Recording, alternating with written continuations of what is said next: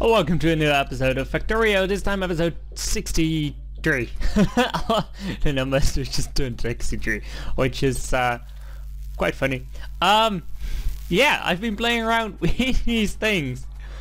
And it's starting to get messy here, and we should maybe move some things.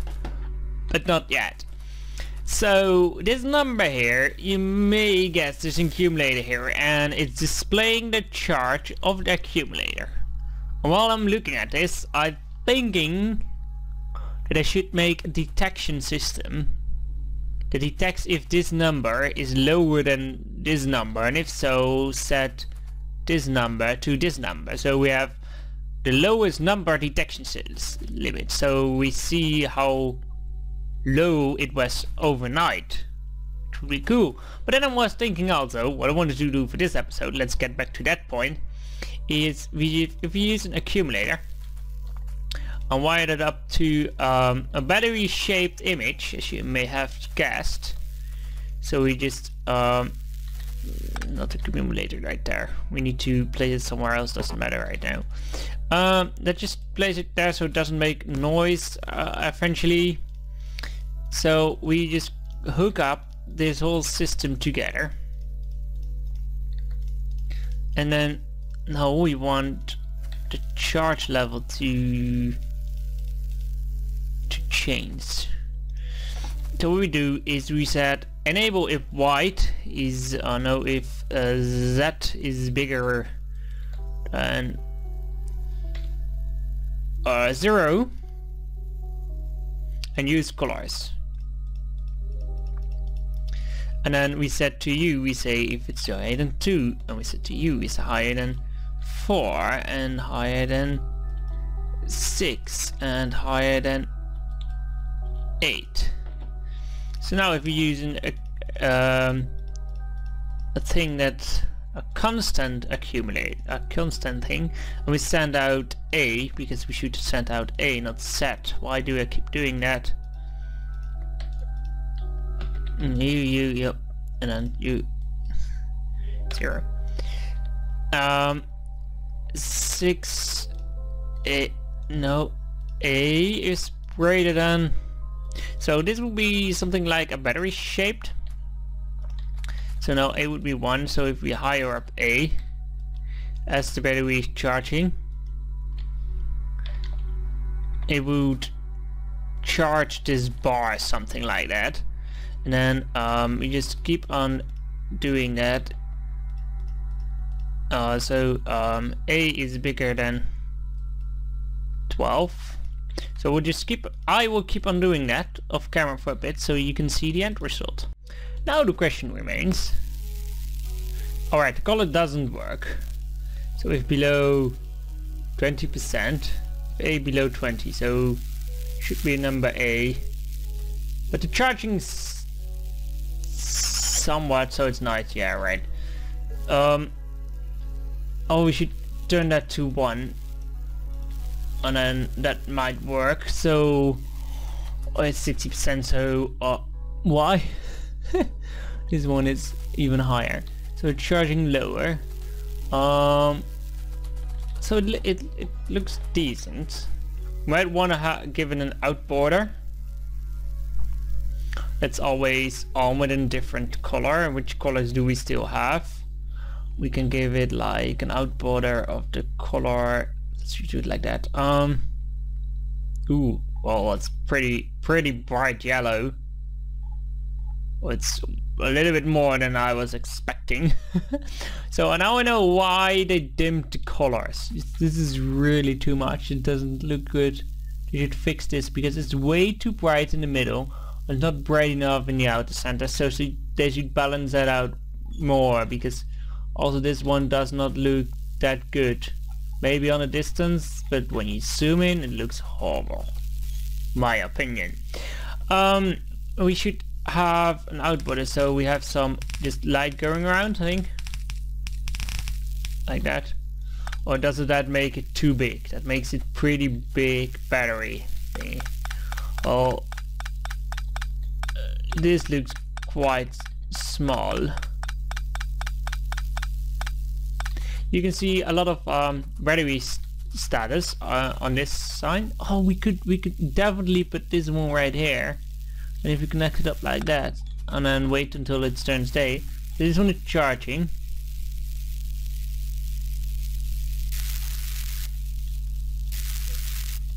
Look, it's it's charging, so it's two percent right now. This this looks somewhat good, I think. So if we just blueprint this, like that, and then uh, remove it, then we can use that because we have that blueprint. Or if I didn't have that blueprint, if I just had it destroyed, it would be a pain because it took me quite a long time to make. So we just plump that down because I come a lot of times I come around here and I don't want I want an upside down battery. So just plump them down somewhere. I mean if I just do oh no they need all need power. So then they should go more to the to the left side. So where is the maximum distance? Right there. Right I'm standing on it. So uh, if we just do like something like this then we would have a nice battery indicator telling us you can see it's pretty go pretty hard going up. Um can we just drain it? Drain the battery. I want to see it going up once more just to be able to see it. Look at that. The battery the battery is charging guys. I know how many electricity there is in our power grid so then it turns to white because no normal battery life you know you know and it was almost full turns to green green is a bit too much from the good side but we might also, um, we, we rather need a system that indicates us how much light there were uh, last night. So then we need daylight detector or something, or a timer. We could use a timer to reset to left screen. Oh, we need an. Uh, let me search for an I'm gonna align a search for an, a memory cell because I know you can do that, those, but I just want one small one. It stands, you know. I'm thrilled. So we have a normal system right here, and we may, I never tested it, but we may have an a last night filter right here, and uh should I really go and explain this? well, if it works, I will explain it, else I would just keep working on it. So it should go down to around 60 something, I don't know how many exactly. But I think it, it's nice to see all these those displays around, you know, it's, it's, it's nice to see and it's a battery bar right here. All nice. Uh, basically, what this system should do, I'm gonna, gonna stand right here and tell you a little bit. So we have the uh, accumulator again. Um, the accumulator is uh, checked if the accumulator is 100%.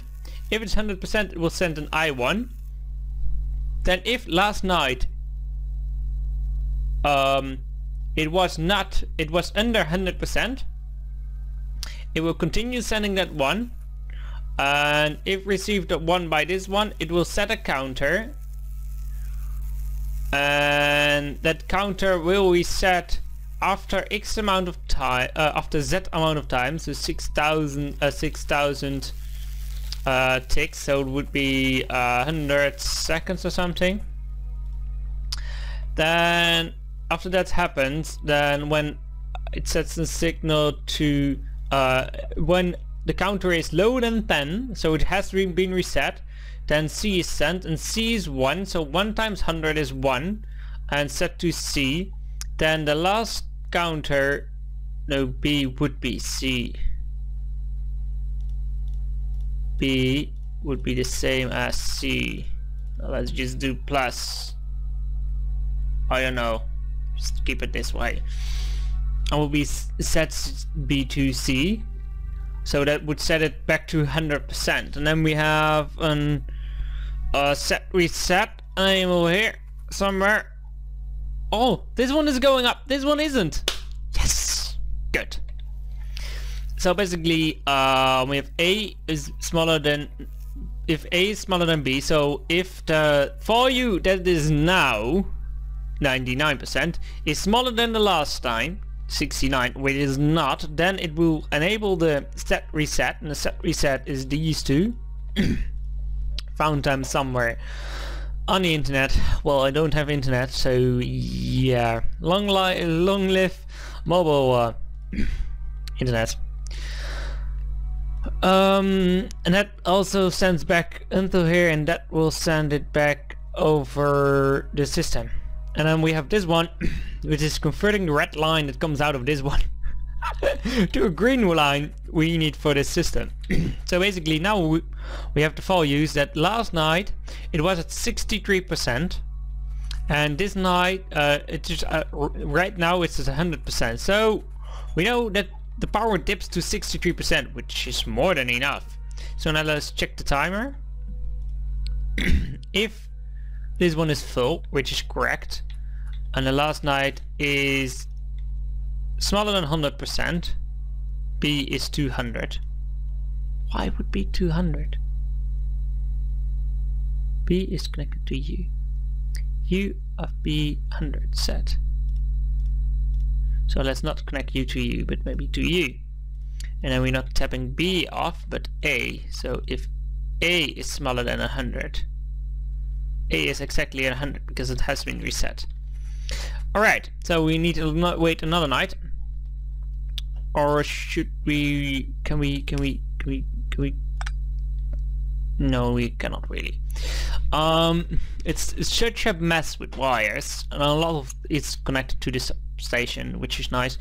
Uh, also, we can remove this one and connect it like that up. So now it's at 0%, which is nice, so it has been reset. Good to know we can do that. So now the timer is counting, as you can see on the right side. Uh, the input signals is it waited until Z, so 6000, uh, 6K, but it's at I, which is 1.8K. Uh, I'm gonna increase that eventually, just looking up the uh, day-night cycle Factorio, and then somewhere in the neighborhood of the day-day cycle, I will set it to, I think. But anyway, um, let's keep it right there. Let's change the number. It needs to reset to, to 3000 because that would go a little bit quicker. So now has been, oh damn, set it to 300 instead. So when it's below a certain amount, which it was, then this one would send a signal. Yes, it did. Then this one would send a signal. Yes, it did. And that would send C 100. That would say ESP plus... Oh, we're missing one red wire. No, we're not. What's wrong with you? That's probably the pull I removed right here. Let's see, we still have to do original run right here. So you is indeed connected to only that. And it's still right here. A little bit debugging, you know? You are not saving the proper properly which is a bit weird because you were working before and now you're not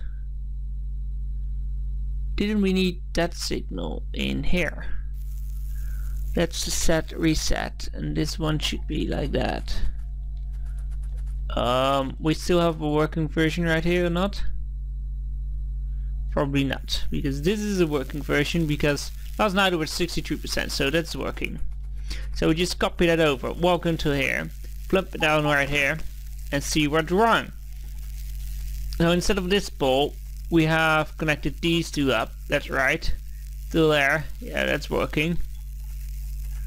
But it's not setting reset. Let me figure it out. I think I found it out what it was. there was no signal B in the system. Apparently it cannot reset without a signal B. Which is a bit odd.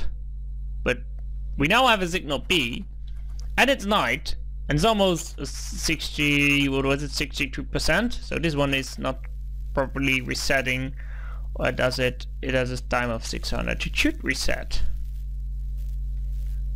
I don't know why this one is not resetting. 64, 62, 63, uh, 63, 62. Um, meaning this is just really cool. So uh, basically, why would it be useful? Why do you want to see what it what the power dip was last night? Now, just imagine you coming back to your base and you wonder, well, I have plenty of power left, and you see this sign saying 12%, and you're like, no. 12%, meaning the last night the power dipped to 12%. So last night the power dipped to 64%. You see it's working again. And now I know 64%. So I have two thirds left of the power uh, of the accumulators at night. So if we go to here, you can also see that probably. Um, so um, yeah, so something like that. So it would be a one third or something. Apparently this is one third. I don't know. Now I know the exact number. So I can make the syst my, my base at this moment, if it is really 64, I can make my base three times as big and it would be still a little, little, little bit power left at the end of the, look it reset it at the end of the day. So the reset time of course needs to be bigger.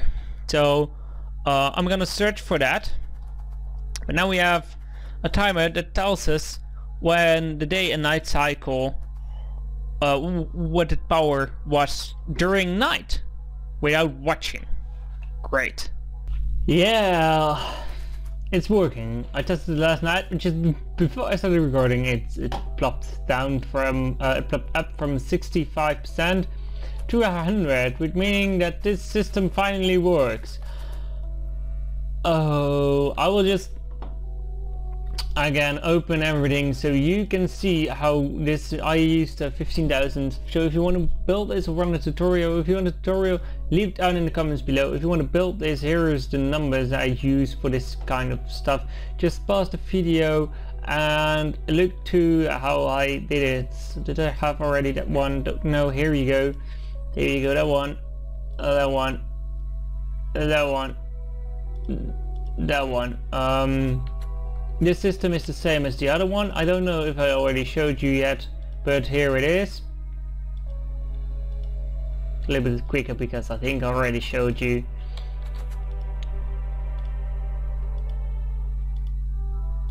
There you go. And this is just a numbering system that I have over here. Which, meaning that we should find a dedicated place for this stuff to be. There's also some um, Oh, should we call it? Junk? Junk stuff right here. We should, do we have radars on me? No? no apparently not. Let's just do it then uh, like that. So we should uh, find a dedicated place that we can put these things uh, we could put this out of sight and put this inside. That would be nice and all the same count for that stuff. Um, then we have this thing I want to work on. Uh, we need a, few blueprinting stuff to be done. Uh, this can of course go away from for now. And then the robots will pick some stuff up. Oh, that's why I get more robots, because I request robots and I make 50, and if you use 50, I request 50. Ah, that's why. I keep wondering how I get more robots than I ask for which was a bit of art. But yeah. I wanna meanwhile I wanna thank you guys for watching this episode again with me. I hope you enjoyed a little bit because this is really technique stuff in Factorio. And some people just don't love like it and some people do. And I like to play my world like this so I hope you like the episode. But for now, I want to thank you guys for watching and I hope to see you another time. For now, goodbye.